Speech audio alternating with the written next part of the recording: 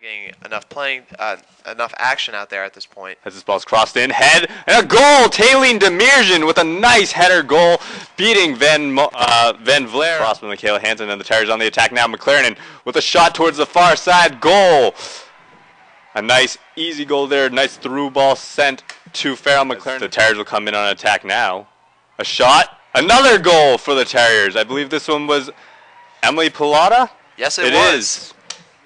And that is her seventh goal this season, and she ties Farrell McLaren on the 14th spot in rank for goals in a season.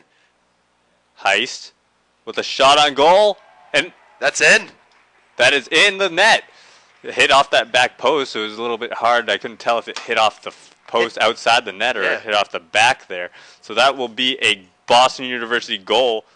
The Terriers working a nice combination there. Shot from about 30 yards out, and it's a goal! A rocket from a good distance. It was Jessica Lusinski with that one. Jessica Lusinski gives the Terriers the 5 nothing lead. And we're in our final 10 seconds. You hear the countdown going.